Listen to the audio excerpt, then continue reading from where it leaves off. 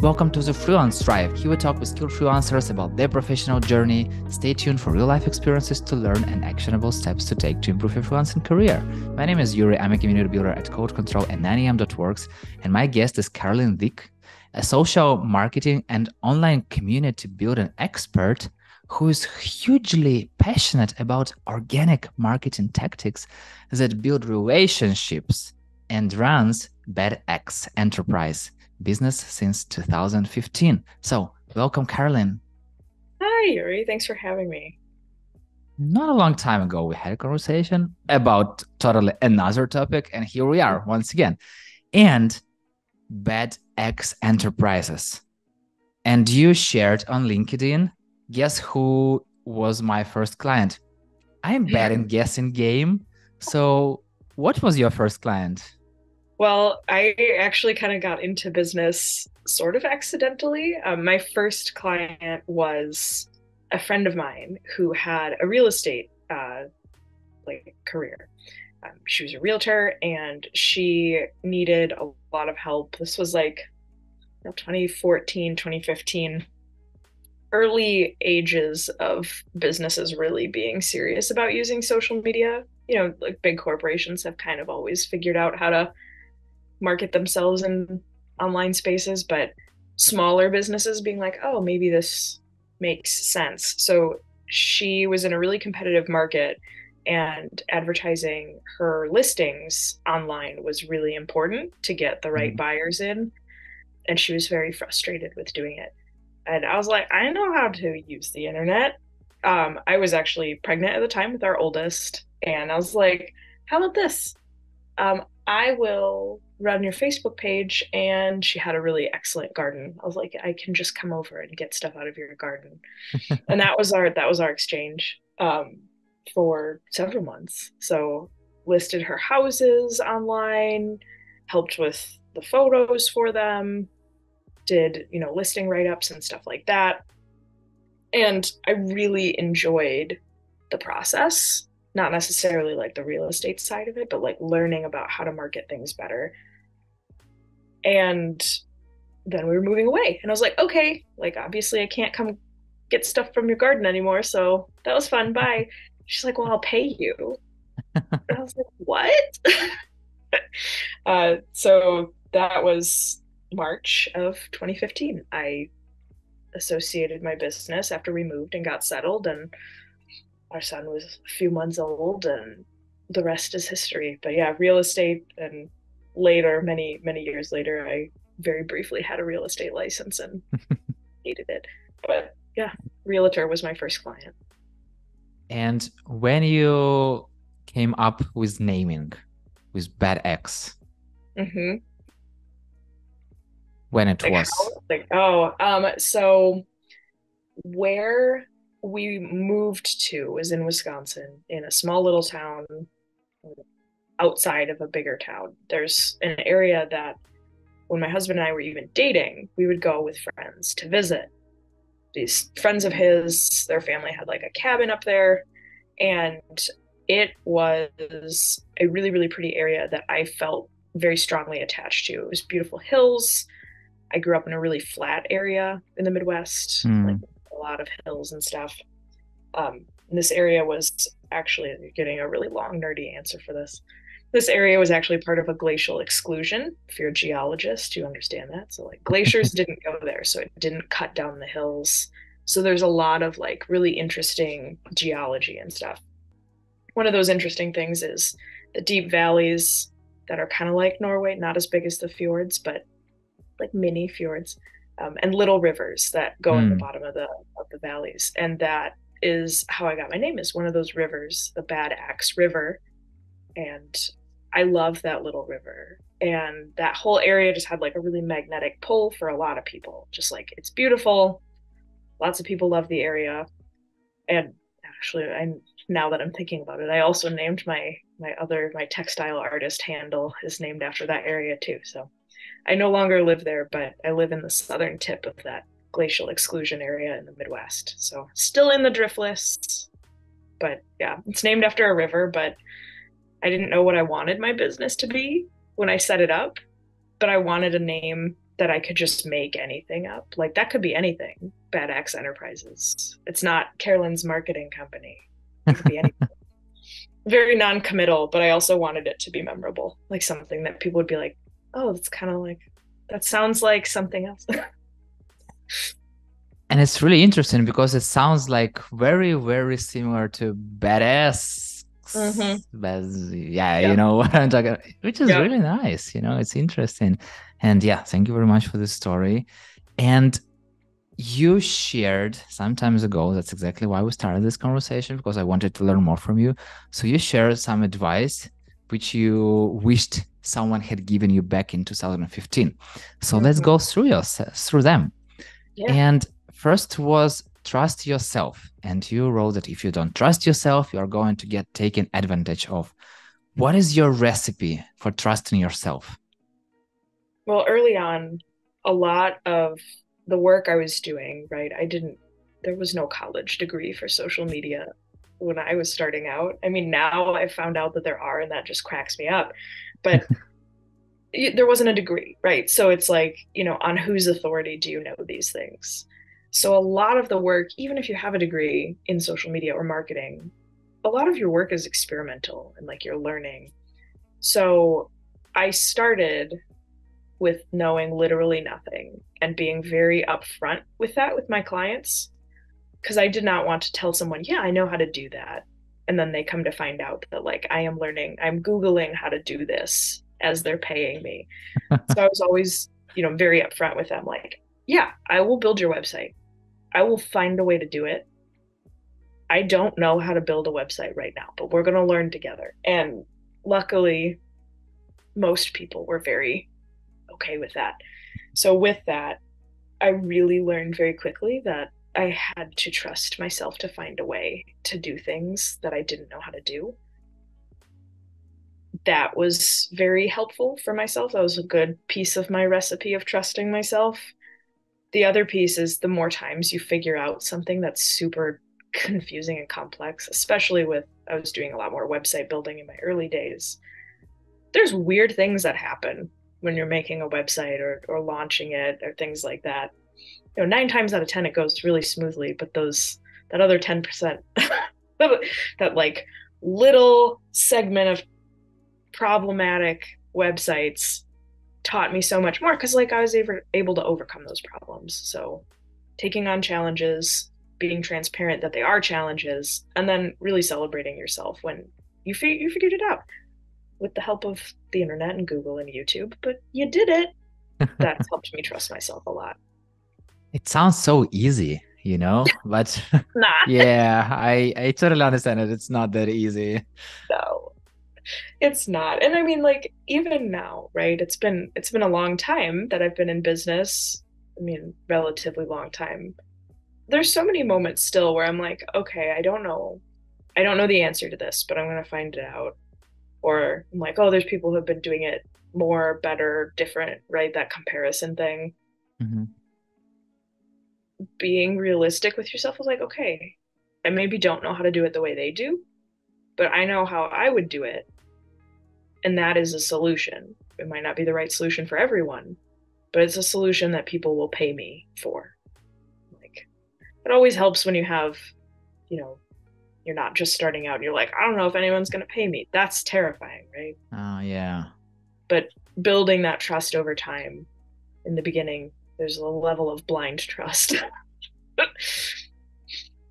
yeah, I, yeah, yeah. So, second one, you told that if you are saying no to an opportunity you know is a bad fit, you don't need to explain why. But once again, sometimes opportunity are coming. And yeah. especially if you are freelancer, sometimes you have a lot of opportunities, sometimes you have zero opportunities. And how do you know that it's a bad fit?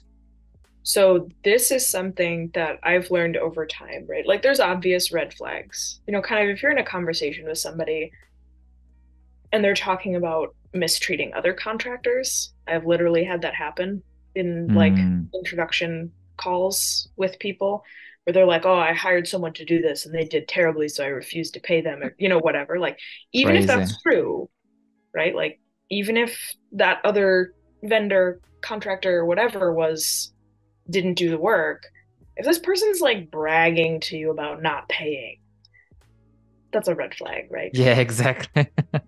But other things, right? Like knowing it's not a good fit. One thing that I so set it up not fully realizing how beneficial it would be. I used um, a software, Honeybook, to mm-hmm. make mm-hmm. an inquiry form on my website.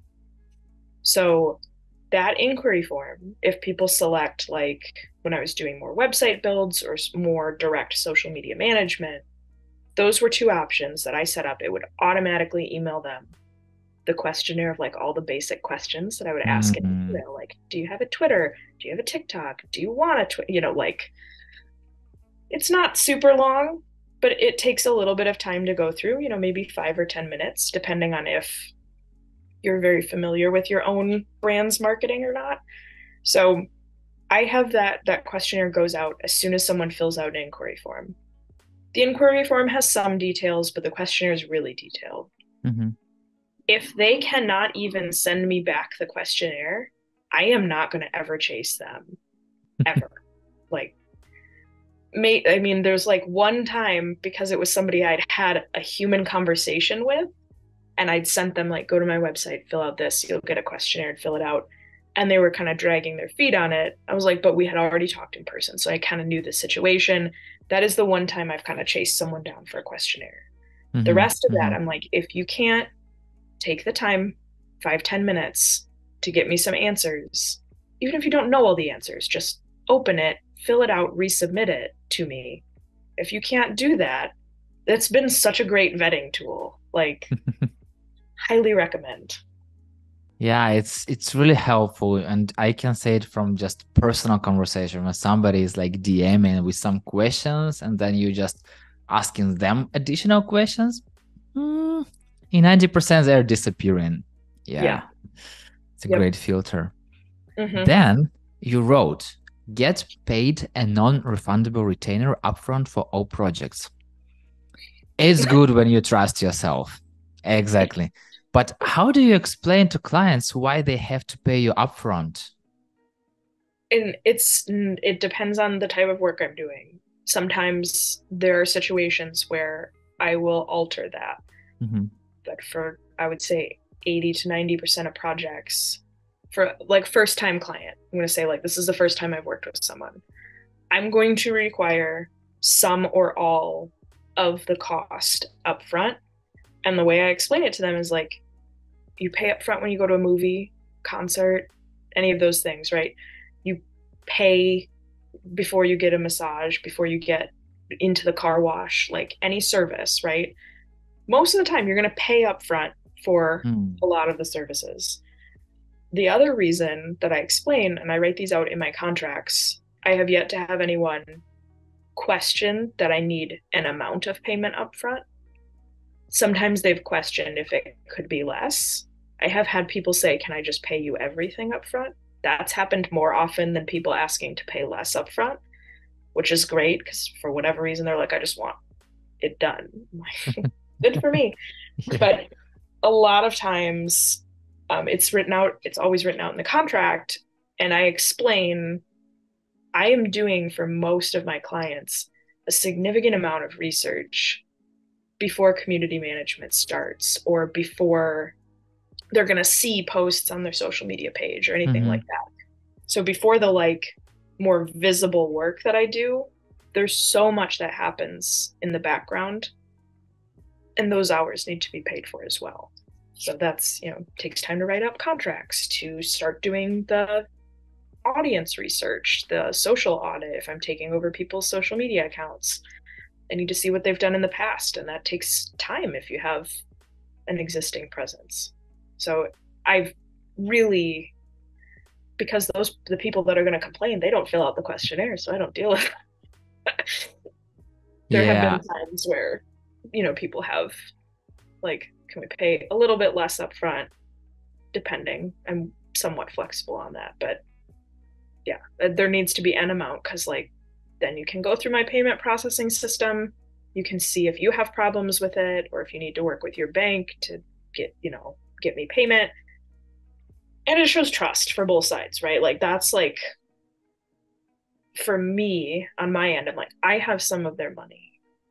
Not that I'm ever going to flake on it. Like, I need to deliver something quick, like something first. So they, you know, they've already paid. We need to like fulfill part of this agreement right away.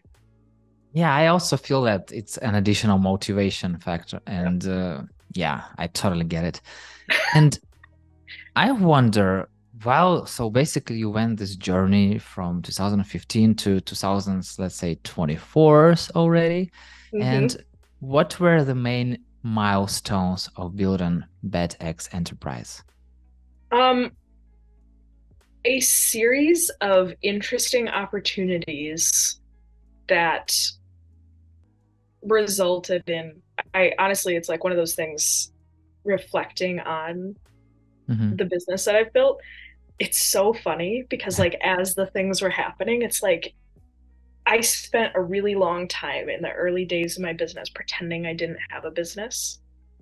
And i don't regret that because i feel like i learned a lot in a lower stakes environment. I wasn't working full time before. I was home with the kids which was amazing. And it was something that you know my husband and i had both discussed. We wanted mm-hmm.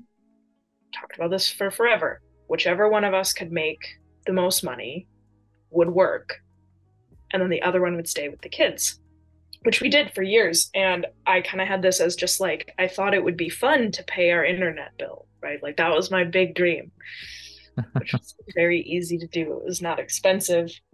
And then from there i was like oh i'm making you know like friends family would find out like oh carolyn can build websites or carolyn can teach me how to use facebook for my business or Carolyn can manage my Instagram page. So people like started finding out and I was like, okay. Started getting some more income. I was like, okay, so I need to like buy items now for my business so I don't have to pay taxes.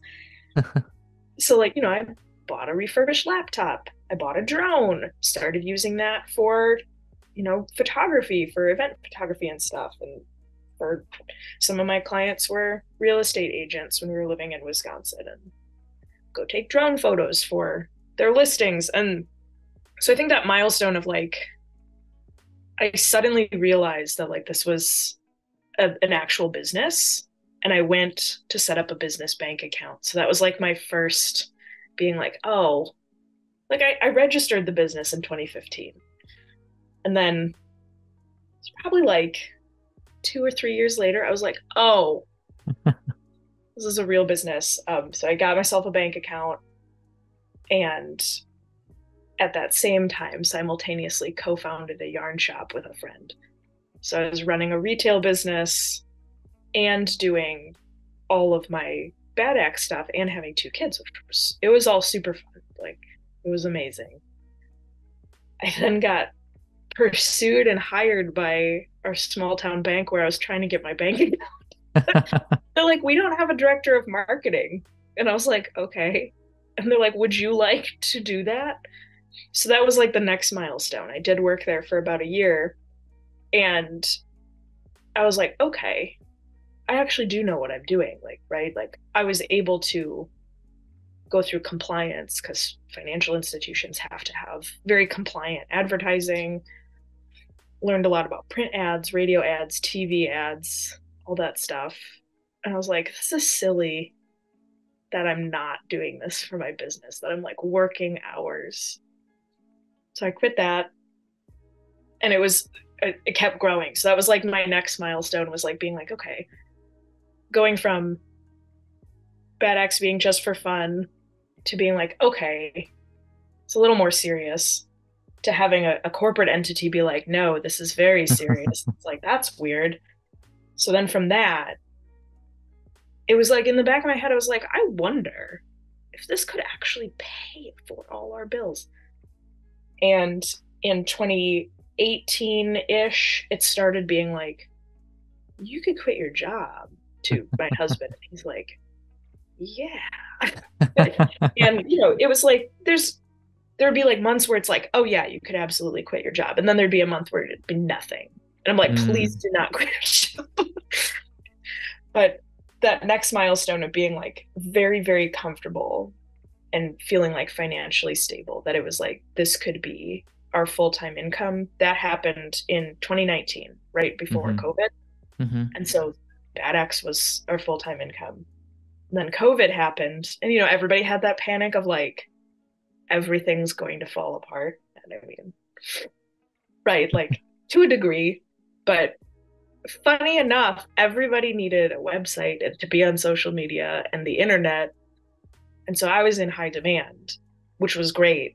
And the rest has been just really lovely. So that was like it being our full time income, COVID happening, and then building out into the community industry. Those are my most recent milestones, but it's more like a self evolution more than business milestones, I guess.